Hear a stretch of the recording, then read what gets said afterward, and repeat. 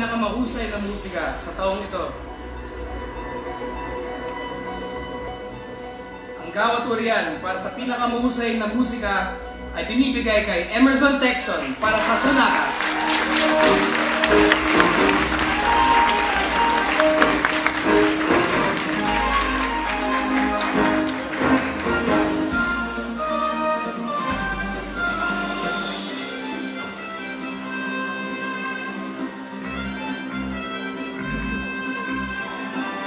Gawadurian, maraming salamat sa MPP, ah, kay Direk Peke Galiaga, Direk Lori Reyes, uh, Ms. Jo Macasa, sa tiwala, gabay at sa pagkakaibigan, sa direksyon, sa lahat ng may kontribusyon sa pelikulang Sonata. Siyempre si Sherry Hill, ang My Own Man Productions, ah,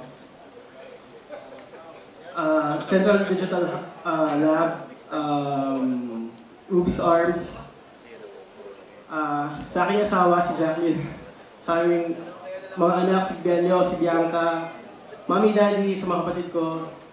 Malaking bagay ito sa mga katulad ko na nagsisimula pa lang sa industriya. Ah, siguro ang pinakamagandang paraan para mabalik ko itong biyaya na to ay lalo pang pagpaghihin yung ginagawa ko. So, maraming salamat.